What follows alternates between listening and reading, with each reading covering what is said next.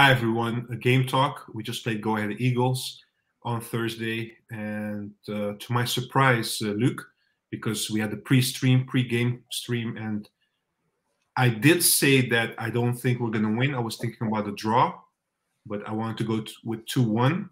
But that was more more based on the recent performances of Ajax, the way we played football, and Go Ahead Eagles was a little bit better than Zwolle, for instance. But I have to take my words back. After that first half, I was surprised uh, the intensity, the energy we brought, and I thought honestly, um, well, if we can keep this up, we'll win. Easy, easy. Second half, basically our level dropped a little bit. We didn't come in uh, on the second half on the pitch the same way we did in the first half, in my opinion.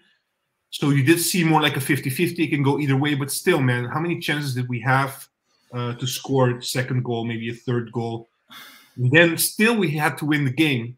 Uh, wasn't it for the mistake at the very end from maybe our best, you know, uh, one of the best players of the season, Ramaj. But today he was shaky a couple of times. I don't know what it was. How do you see it? I mean, back-to-back game talks, I know, but I have to ask you, Luke, um, thoughts. I know it's frustrating. I know. It's just, it's just deflating, man. It's deflating because you go from a first half where you know it's some of the best stuff we've seen in a few matches. If if anything, like a long stretch of matches potentially, intensity's there, and and you know there were chances there to be taken.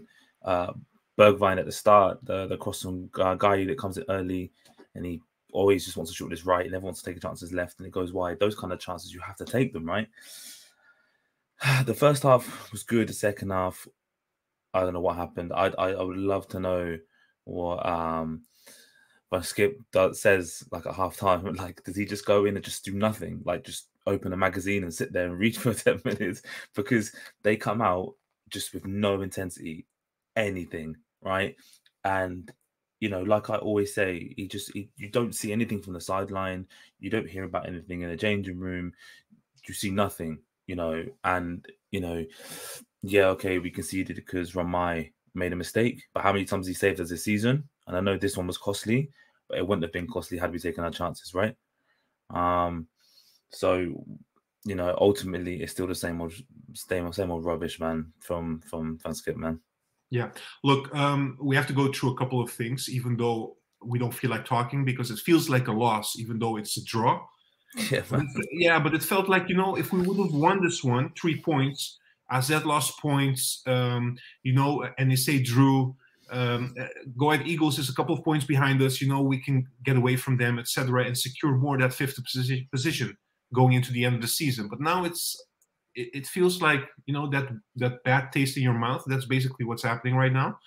Look, um, I have to touch upon that goal. Um, so let's go back to the first half. That goal of Guy.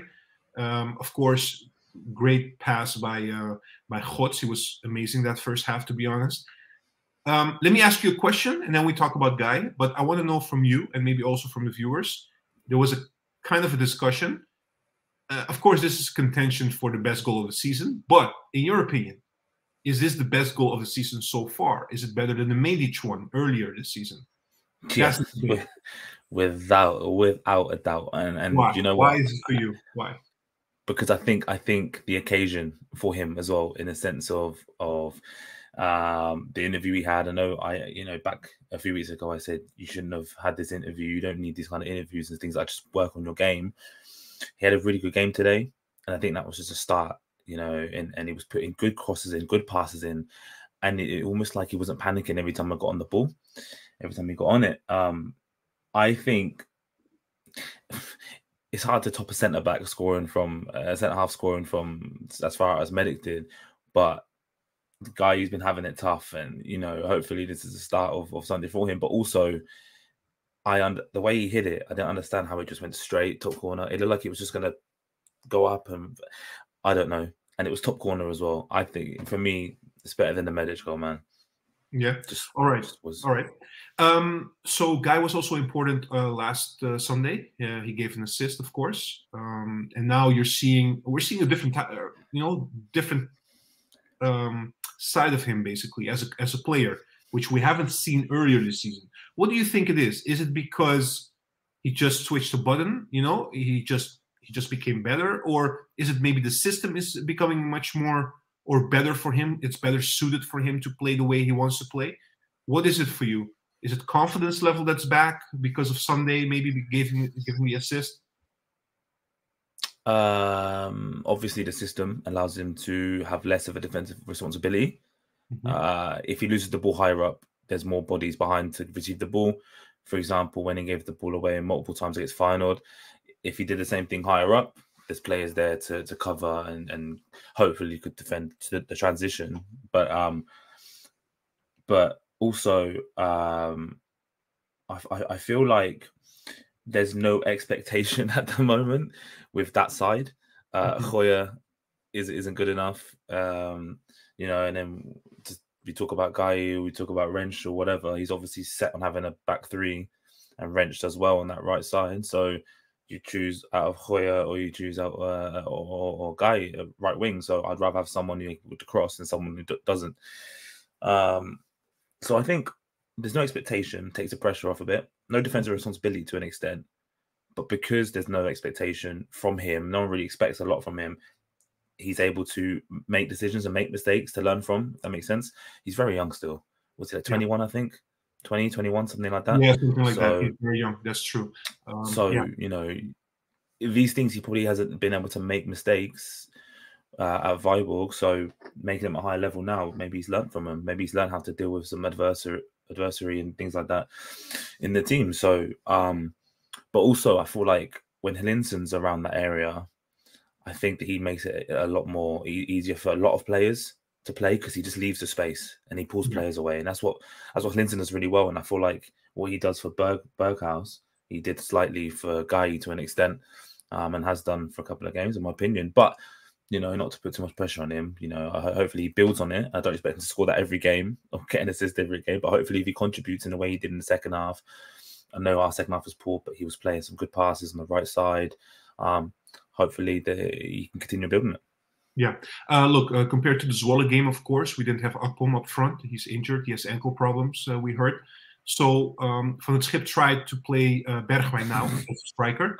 Um, but also that means that Godts would not start on a right wing position, but start on a left wing position, which is much more a natural position for him.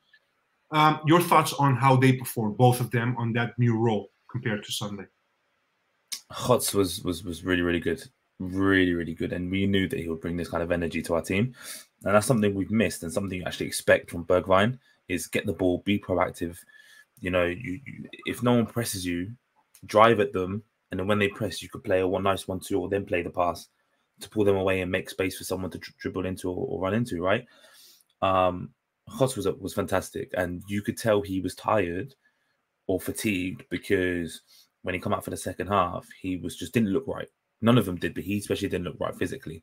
Mm-hmm. Um, and we always say that the system makes everyone work harder. You have to run further. There's less attackers, so the attackers have to do a lot more, um, you know, running and, and, movement and things like that um, which makes it more impressive that Hlynsson's able to do it without going off at all sometimes, right? Um, but Godts was really, really good, really proactive, crossing, hit the post as well. So he's got an idea of and uh, of what he would like to do and how quick he wants to make a decision uh, to cut inside and, and, and finish or, or try to finish.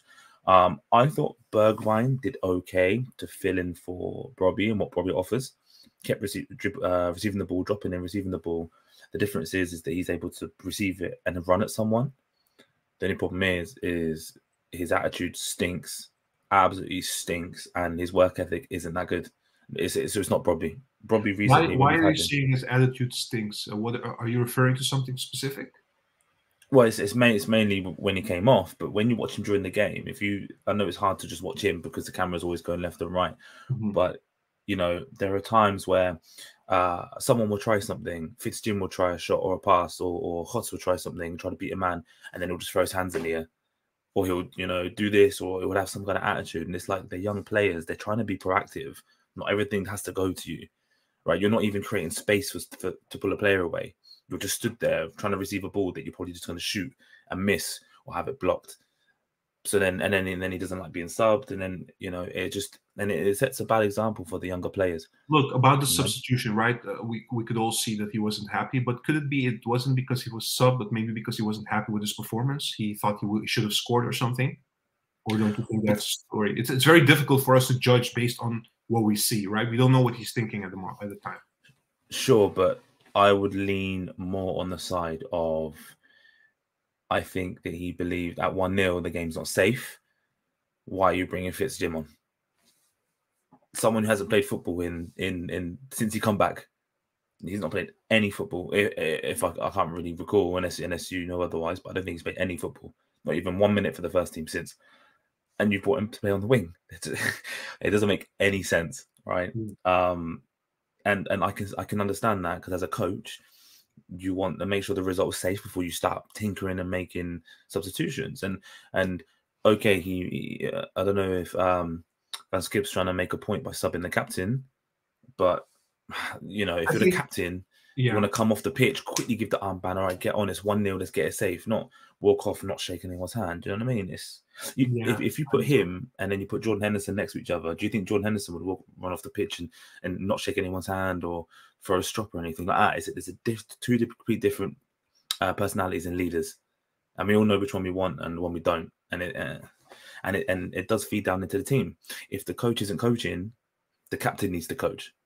Do you understand? Kind of yeah. like um Rinus Michels and uh, and Cruyff when they play. You know, Cruyff will play for uh, Ajax and, and coach on the pitch yeah. for while Michels was in, was in the dugout, right? So, yeah. Look, let me go to the comments. I do have yeah. some questions, but it could be that the viewers also are asking the same questions. So I want to give them an opportunity to ask you questions so we can discuss yeah. as well. Um, so, guys, if you have a question for uh, Luke, let me know right now. Um, so let me scroll back a little bit so I can check the earlier comments first. Um, nickname uh, Punch Punch Punch is saying nickname was almost right about guy carrying us to victory, which he said in the pre-stream. Actually, he said, if I'm not mistaken, he said Guy and Tahirovic will carry us. Honestly, you were very close with that prediction. Um, we were all laughing. Apologies, nickname. You were you were actually quite. Uh, yeah, I don't know how you how you predicted that, but that was really cool, really awesome to uh, to see. Um, guy has more potential than many think. Depends how you use him. Besides, uh, yeah, the first season. Uh, yeah, correct. Uh, nickname is uh, reacting. Yadorenko and Pierre have to buy Guy's shirt after disrespect in the pre-game in the pre-game stream. Yeah, absolutely. I'll I'll pass it on. Um, and then he's also adding, "I'm the Oracle." Yeah, yeah. You have to tell us your secret. Um, let me see. What else do we have? Javid is saying, admiring uh, to Van het Schip how hard, no self-reflection and dignity you must have to not quit with immediate effect after such a performance.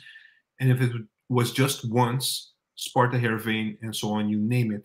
Um, hold that because that's probably a question that I have for you as well at the end. Um, Progressivo is saying second half was shit. They thought they were safe. I thought we were too. What a shame. Uh, Papimento also saying frustrating ending, which it was. Uh, Casilla is saying uh, our captain should have scored at least one goal and would have would still have that three points. Yeah, we didn't take our chances. I mean, we're, we're looking at Bergwijn because he has the big he had the biggest chances. But that first half, we had so many shot opportunities, also from, you know, like uh, I, I remember Tahirovic had a shot. I remember um, Taylor, left. Taylor, um, mm. so many, so many people basically. Um, Javit is saying, Juan, can we get your opinion about how on earth Van Schip is our coach? Please, no, we have no choice argument. Who's going to appoint him? We have our own. I mean, even the people above us, uh, above Van Schip, that have to make decisions right now, it's a mess there. We don't have a technical director. We don't have a CEO anymore. So, you know, I think they have different uh, uh, priorities at the moment, to be honest. But I understand your point. But I think we should have yeah, we're just sticking with with him. We made a decision. We have to stick with it right now. Um, unfortunately, or fortunately, the way you want to see it. Pinch, pinch, pinch is saying this loss is just an extension of a terrible season, so typical that we felt it coming. I didn't see this one coming, to be honest. I was already like ready to come on the stream and say like, "Hey, this Ajax is showing um, a revival or something the way we played." But yeah, Anyway. With Sabi, I thought I, I, I said we wasn't even going to get a point. so exactly. Uh, Lawrence is saying people will now focus on blaming Ramaj, and of course it was a mistake. But guys should have had a minimum of two assists today, and we would have won this game comfortably. Yeah, exactly. Mm. I agree. Ajax frustrated, can't take the shit anymore. It just doesn't end. When it rains, it pours. Yeah. Only for the week. We have the worst manager in the league, no doubt in my mind. Guys, a disgrace. Yeah, people people are also, also upset on uh, van het schip. Um, like I said, hold it for a bit uh, until I go through all the comments. Uh, let me see what else. Yeah, Indrek is saying, for me, Schip threw away this game again. Substitutions were uh, really, really strange. Forbes, Hoyer, Jim. I mean, what the actual F? And Ramaj should be banned from trying to catch that ball. Um, look, this is basically what I wanted to ask you. I, I think this is a nice bridge because Indrek is basically saying what I wanted to ask you. How much should we in the second half? So first, you already made a remark about I don't know if Schip was reading a magazine, and I mean, of course, as a joke uh, during halftime break. the way that they came on the pitch in the second half compared to how they played in the first half, that's a huge difference. But apart from that, the substitutions that he made. Look, we know that um, we know that Godts has to be brought off eventually. He cannot play full 90 minutes. We know Bergwijn just came from an injury, so he cannot play 90 minutes. Those we understand. But maybe the other choices that he made. What can we look critic? Can we be critical about from Schip about that? Yes or no? Or is it just we're trying to find now? You know, we're trying to find people to blame and these kind of things. But at the end of the day, we should have just won the game. One hundred percent Van Schip's fault. Yeah. We okay, so you, you, you can't play Godts 90 minutes, you can't play Bergwijn 90 minutes, fine, absolutely fine. So then the very least you can probably do is put Hlynsson on the left, Forbes on the right, or vice versa, with like Rijkhoff in the middle, right? Fitz Fitz-Jim, Fitz Jim, like we always have a conversation: is he a six? Is he an eight? Is he a is he a wing back? No, no one knows. He's 100 million percent not a winger. 1 million percent. Right. And, and it's not like he's done bad. He didn't do anything that makes you think, oh, he's too shit to play. He hasn't made a mistake. When he come on, I thought he did fairly okay, considering he's not played any football. He's passing the ball. You know, he was trying to get in positions. But you you, you take someone like Hotsu, who was affecting the game with a direct approach, nice and quick, dribbling at the person, to someone like Fitz-Jim who who doesn't dribble like he's not a winger. He's not a winger, you know, and you know, he, he's not even a creative ten like Hlynsson would be, or like or, or like a or like a Berghuis. He's no one knows what he is, but he's not an attacker, right? And and so you lose the spark that you had completely, and that directness. And you know, I don't understand it. I would I would have rather put on Forbes, and I'm very critical of Forbes, but at least he would have tried to beat the man like he did to enter the game down the wing, trying to put a cross in. That's still something and it's not Fitz-Jim's fault, but it's definitely on the manager. I, I just don't understand. I don't even understand his formation in the first place. I don't understand the decisions he makes for the time. Like, like how have you started Bergman in the middle? Does that make any sense to me? You've bought Rijkhoff. Yeah, you bought Rijkhoff uh, in, in in the summer, or sorry, in January or whenever you bought him, and then you you don't play him. You play him for ten minutes. That it, it, makes he's a striker and he makes zero sense because who's to say that Rijkhoff doesn't go and score two goals just because he's had 30, 40 minutes to play? I don't know and then that kickstarts him. So then he challenges Brobbey for for, for the base, right? Would you have would you would you think like other maybe another coach, an experienced coach, or a different type of coach?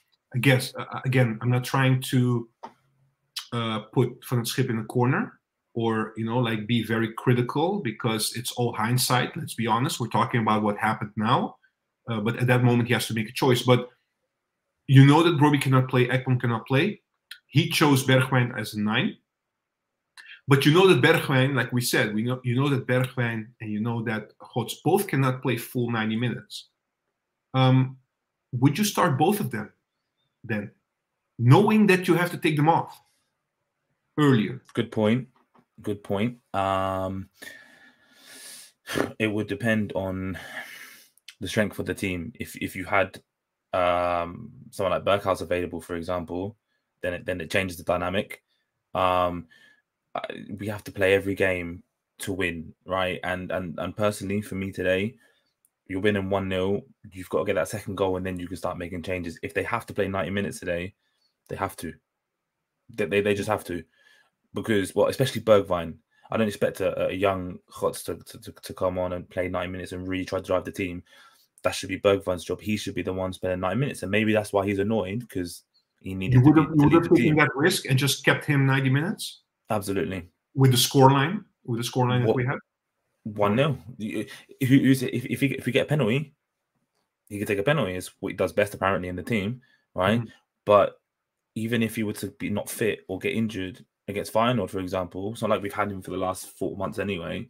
Doesn't offer that much on the pitch most of the time anyway. It's like, are we actually missing anything? You probably get more out of Rijkhoff in the middle and, and of course on the left than if you had Bergwijn in any of the positions, right? But it's because, but but it all comes down, I think, from the manager. It has to. It, ha- it has to be. And, you know, he doesn't sound like he's able to take charge of anything. You know, it- the weird thing is, you know what the weird thing is? We even got help by the by the ref. He even blocked the guy for us. So I thought this cannot go wrong anymore.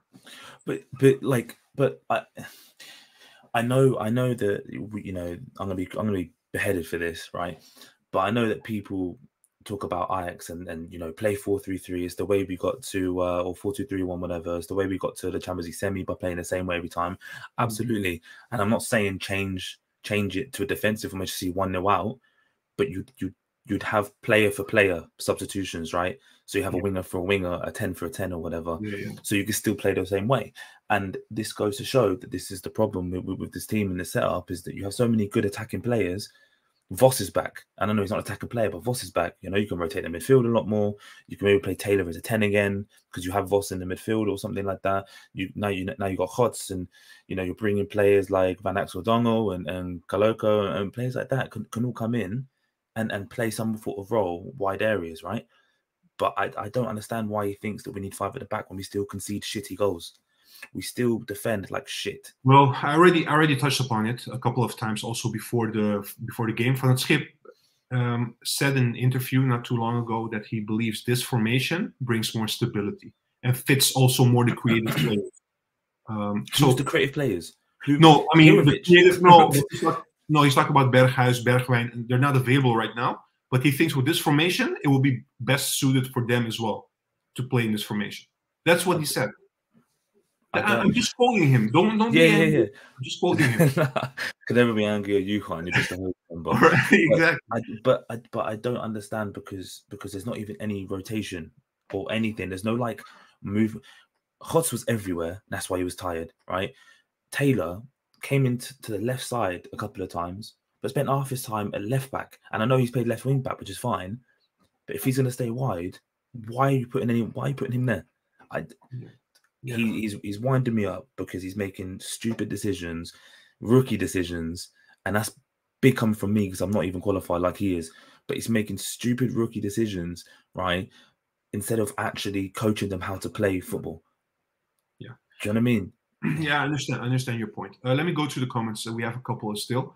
Uh, I have a question actually from Christian for you, for Luke. With the upcoming match against Feyenoord this Sunday, what would be the best way to play against them? Yeah, it depends who's available as well. Right? I could tell you how not to play against them. I could tell you don't play five at the back, don't play with Taylor at left wing back, and try this whole he's going to come into midfield thing. It's just it, the play, the players just aren't on the same level to be able to do that. You can go and look at a Man City and look at an Arsenal because they're able to do that. They're big clubs and, and they have the players. Declan Rice can do centre back, Cam 10, 9, 8, whatever he wanted to do. We don't have players like that. We have to, you know, prioritize the football first, right? As as opposed to positions and, and things like that. It needs to be there's your defense, there's your midfield, there's your attack. Let's learn how to play football. Because I look at Mannsverk and there's a good player in there, for example, but I feel like he's being held back. And Tahirovic at times.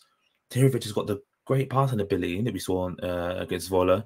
And then, you know, at times you, you can see him trying to start things. But if you've only got two players there holding, who, who are they going to pass to? Do you know what I mean? Because Taylor's sat on the touchline, getting chalk on his boots, doing nothing. He's probably his heat map is probably just a line like this and, and a little bit inside. That's it. And you know, and on the right side, you know, Guy he was up and down, which is great, and Hlynsson come inside. But I, you know, where's the penetration? There's no one actively getting the ball and trying to play, and you can't rely on just Berghuis to create stuff. Which is why you need Godts playing left wing every week if he can, or or on the right, whatever. He needs to be in that team because he I made things happen today. I just hope, even though we're playing away against Feyenoord, uh, Christian, uh, if I may say what I think, I just hope we bring the same uh, intensity as the first half we did today, even though we're playing Feyenoord. Um, even if it's at the Kuip. I know it's going to be a different game, but yeah, if, if we're going to sit back, let them come to us, it's going to be it's not going to be end well for us, to be honest. That will happen. You know that will happen. Yeah, but I don't think yeah because right. because Van Schip is a coward. He's a coward tactically, as a leader, we'll as see. a coward. Maybe, we'll see, man. Maybe he'll surprise you. We'll see. We'll see. All right. Uh, comments. Uh, young Rocky. Young Rocky. Ajax brings nothing but pain and tears to my life. I haven't smiled in months. Oh man, that's not good. Um, Mark Westling, can we just stop this season, please? Uh, yeah. Um, I cannot read his name. Can you read it? B below. Bill below. Bill, Bill below. Bill, Gooijer is too bad to play for Ajax like most players. Ramaj does stupid things often. I don't agree on the hype about him. I would like to see Rulli come back. Vos made a strong impression. Okay, that's possible. Um, I mean, no, there, there can be hype on Ramaj to an extent because the amount of times he saved us this season, made very good saves, and does play out at, at the back. But you know, if you're going to have a perfect season and give a nine out of ten every single game, why you Ajax? Why are you not in the Premier League for Arsenal or for Man City or Barcelona or or Real Madrid or someone? You'd be if you could play that week in week out like that. 200 million go to a bigger club, right? You know, he's not going to play that well every week. You know, you need to, you know, you need, you need to be able to take some and give some, like we do with Hato. Sometimes he had a bad game, no one jumps on his back. Yeah. Do you know what I mean? So. Um, Steve is saying uh, two wins in nine matches. Ajax is pretty stable. Bit of a wink, sarcasm. Uh, Arco Fokker saying, Juan, you're the best. Thank you, Arco. Appreciate you too. Um, oh, he's saying you two are most nice to listen to. Thank you. Um, because we're done with today. uh, Murder Inc. is saying Ramaj was joking too much today. I just felt like, you know, he does always bring I know he takes time to find the pass solution, uh, which is you know his thing, but he creates a little bit of the thing is when a goalkeeper does that. That's the only thing I want to say. Once is fine, but if you do that repetitively, it brings you, uh, you know like holding the ball very long. So wait, uh, waiting for a player to press yeah, yeah, waiting for players to pass, and then he makes a wrong pass, which happens also a lot, and not only today, but in recent games as well. He always has like one, two, three passes that go horribly wrong. When you do that, it doesn't create a lot of confidence in the back line either. You know, it's it's it's connected to each other, in my opinion. So he really has to improve on that. So the earlier comment about you know the hype about Ramaj, I still think he's a very good goalkeeper. Don't get me wrong, but Rulli didn't do those things. You know, he's not as good as a passer as Ramaj is, I know, but he didn't keep um, having those moments every game. Sure, but you, you know you, ha- you have to think about it from this perspective as well. Is that every team we play against are going to be confident and they can press us and win the ball, so it makes it more difficult for him. And also, you've got defenders that aren't amazing on the ball. You know, Hato's very young, Kaplan's very young, Rensch has never been great, but still very young right? And and the reason is because you're drawing a press, and then he finds the next one. So when he's playing these longer passes to Robbie or to whatever, everyone's like, "Oh my god, amazing goalkeeper." When there's no long option, because Bergwijn's not that option, you know, eh, everyone, everyone criticizes him. When in reality, we need to be better on the ball and understanding that when he plays the ball, it's what happens when you have three at the back. You have two at the back, they go wide, you can play down the middle, no problem. If you've got a third centre back, you have less players in the middle for the next pass, so if they come closer, you can't find the next one over because there's only two players in there. Do you understand? And uh, this why doesn't make any sense why we play this stupid five at the back system because Taylor's not even doing anything to come in midfield. He just stands there cross-eyed, just oh, I'm both-footed, I can do anything, and misses a chance at the edge of the box. Doesn't offer anything uh, uh, in this position. He was better when he was playing as a ten. I don't agree with you to be honest on, on the build-up, but that's a totally different discussion. I still think with three at the back, if you have two holding midfielders, you can still create triangles actually you have more triangle options uh, to build up from the back but you have to be uh, rotating you have to be very well in rotating and creating space for each other because if it's static like we we usually are then it creates problems because then the opposition knows exactly how the ball will be distributed from the back you understand what i mean if you look at some of the big teams even cities sometimes they do have two um, pivots and then three at the back. They don't always play four at the back. No, I, I, I listen. I understand what you're saying, but but also the lack of you can't have rotation at the back anyway. It needs to be structured because if you have a player who's left-footed who rotates to the right side of the fence, who's not great on their right foot, you've got problems. He can't receive a play out. No, but listen, when we had Ten Hag, for instance, I know it's a different time, different era, different players, but how many times did we see like uh, Blind taking over, Timber taking over, um, Mazraoui taking over? They weren't fixed on a position. They will rotate in the build-up play and take each other's position. Creates confusion. it's very difficult to defend.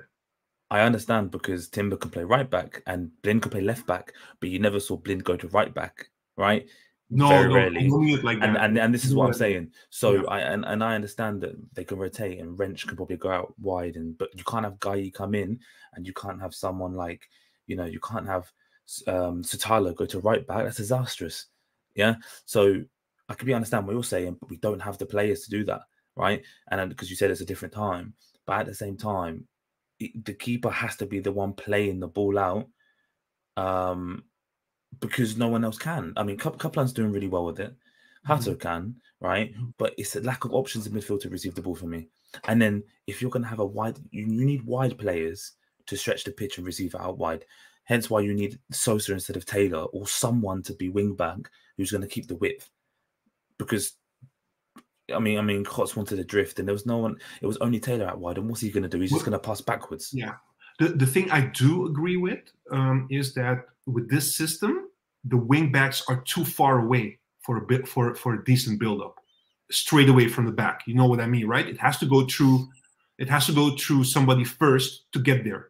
You understand what I mean, right? Or it has to be a long pass, one of the two. Um, just finishing off on the uh, um, on the comments.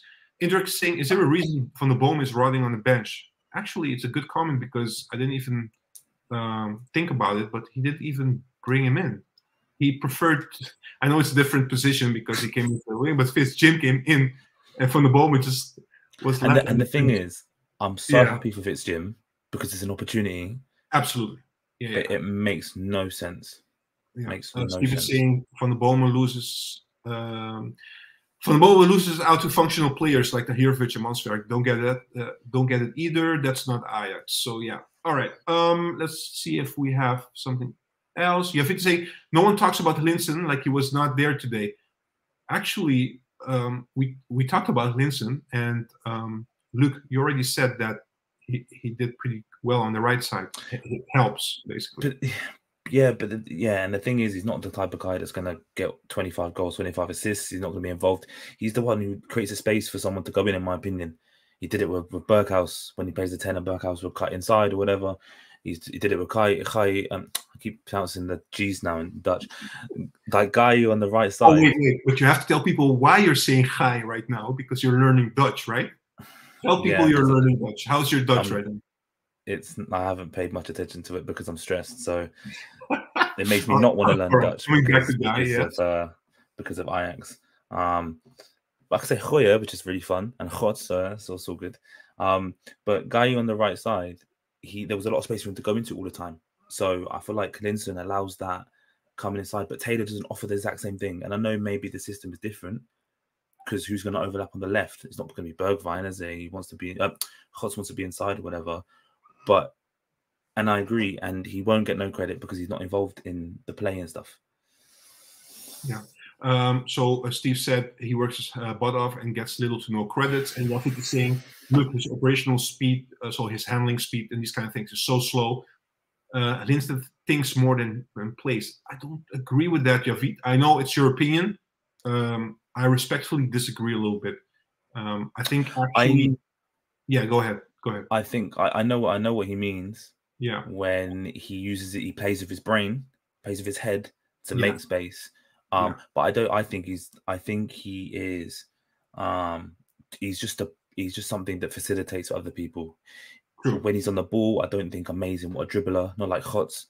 Uh, I don't think amazing, like amazing passing, not very creative, but Exactly. he facilitates. He works hard. He makes space for the creative players to do so. And sometimes you need players like that.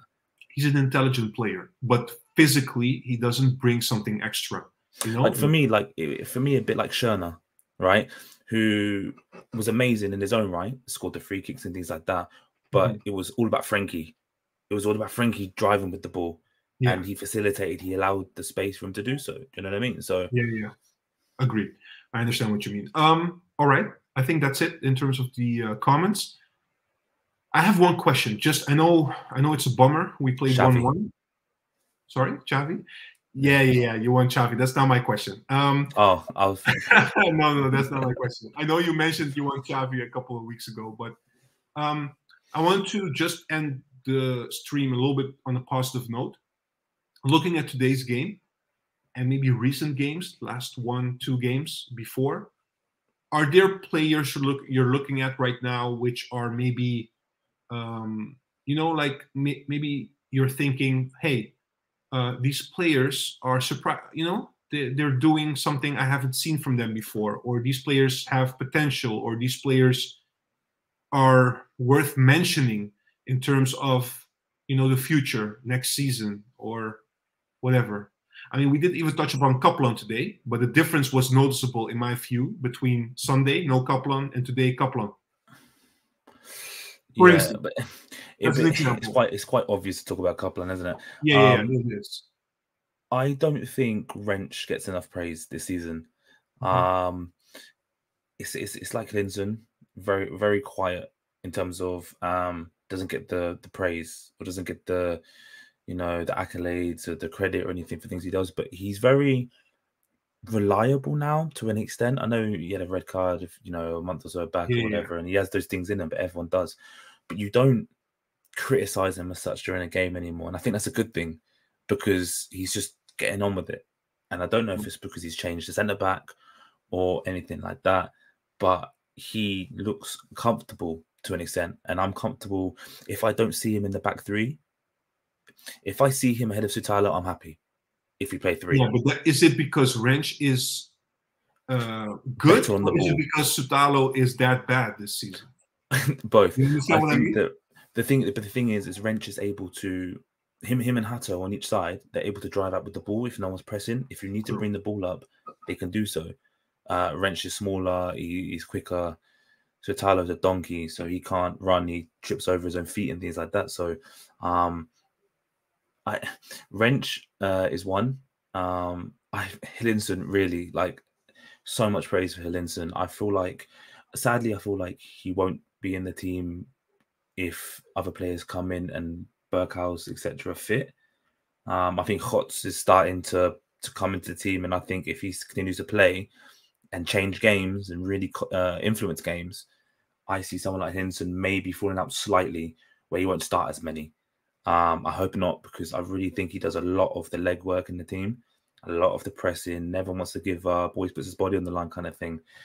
Um, Just want to say one more thing. Uh, Don was saying Ajax is really needing a good right winger like uh, Neres or Antony because we do no, I have love now, of Neres, man. Love Yeah. Neres. Never should have got rid. Yeah, You could tell he was always in Amsterdam because he was always like this. Um, but um, yeah, though, though those two, ho- hopefully, Gaaei has a, has a better season. Um, and I have hope for Mannsverk. But the, the biggest one for me is is obviously Hato and Ka- Kaplan. We could say you know they're obvious ones. Rensch and Hlynsson, um, I think have been really good this season. Um, today was amazing, and hopefully Gaaei you can build on the, the last game or Yeah. two. 'cause he got an Although- last week, last couple of games. do you think Gaaei would ever fit the Ajax system? You need you need ball players everywhere. You need people that understand football everywhere. And sometimes I feel like he, he might not understand it as such, which isn't detriment to him. It might just be the education he got at Yeah, yeah. Exactly. All right. Um, thank you all for uh, joining the stream, guys. Sorry for the one-one. Uh, I'm still a bit uh, disappointed. Actually, it's not going to go away. I think tomorrow either. And we're heading to Feyenoord. Let's see how we do at the. Um, they will be fired up, of course, as always. So hopefully we can bring something to the table uh, to the Kuip. And let's. I mean, not would you would you be happy? Uh, just a question. Would you be happy with the draw? Yeah. Yeah, you'll take it. I wouldn't want to go to get a draw. Yeah, yeah. If we left with a draw, if we left with a draw, with the effort we put in today in the first half, I would be content. I would be borderline happy. Okay. But I just you you kind of look at it with the what's the point? Where's the end? Where's the where's the light? Where's the where are we going forward? You know, when, when's the next step up? It just feels like we're just. It feels this. like it's survival mode every game. That's it. Do you know what I mean? Yeah. All right, uh, guys. Thank you for tuning in. Uh, Luke, thank you as well. Um, see you guys on Sunday. Take care, everyone. Peace.